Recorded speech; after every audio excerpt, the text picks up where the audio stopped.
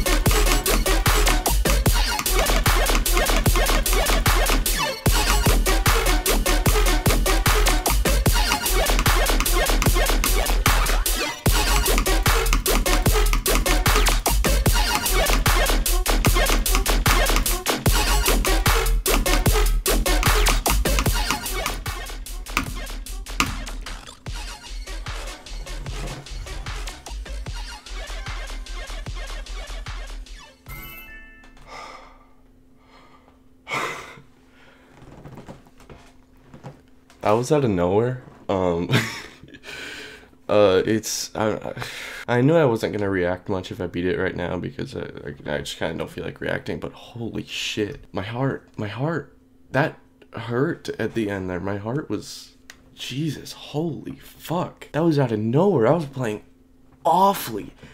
I didn't get past 50% at all in that session. Okay, I'm gonna go with it.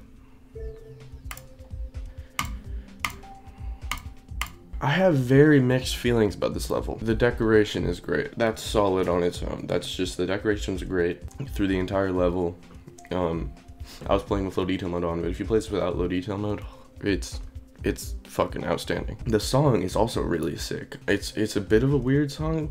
I I would totally understand if some people didn't like it, but I like the song. The gameplay is very mixed though. Before you learn it, it's super annoying which I guess is the same with like any learning level. But this one's so annoying that like it's worth stating how annoying it is. Learning it isn't that bad. The sync it's in the gameplay is very good. It syncs to the music pretty well. A lot of the level just turns into like perfectly timed to the music. And it's there's really there's good gameplay in most of the parts, but the way it's set up is super annoying. Even after learning the level, you'll die to stuff that feels like it wasn't your fault at all because of something you did like three clicks ago. But apart from that, the gameplay is alright. So overall, I like the level, but I didn't enjoy playing it. I think that's my final verdict.